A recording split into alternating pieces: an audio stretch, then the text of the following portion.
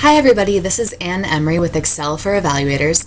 This video tutorial is about the AND symbol in Excel. This symbol gives you a lot of flexibility and it saves you a lot of time. So let's check out one example here. I have my fake data set of evaluators with ID numbers, first names, last names, and just some fake data questions 1 through 10. You can see from this little arrow in my filter that I already sorted the ID numbers from least to greatest, and by having the first names and last names in different columns, I can also sort alphabetical by first name, maybe I need to sort alph alphabetical by last name, maybe I need reverse alphabetical, whatever you need. But sometimes you also want to combine your data so that you have your first and last names in the same cell. It makes pasting into Word or whatever program you need later a lot easier.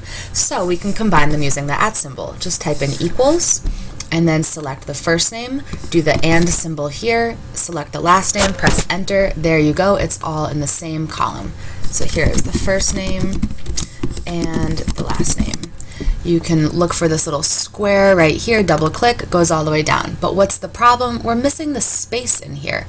No big deal, we're gonna go back up. So we've got the first name and, and then just add a space. So put in quotation marks, press the space bar, more quotation marks, another and symbol, and press enter again. Perfect. There you've got a space between Ann and Emery. So click this little square. Perfect. There you go. Sometimes you want to do last name, comma, first name. Okay, let's do it again. So we want our last name and our first name.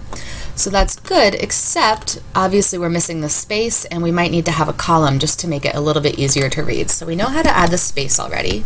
Just add the physical space and another and sign. Whoops. So that's a little bit better. But to make it even easier to read, let's add a comma right here. So this starts to get a little confusing.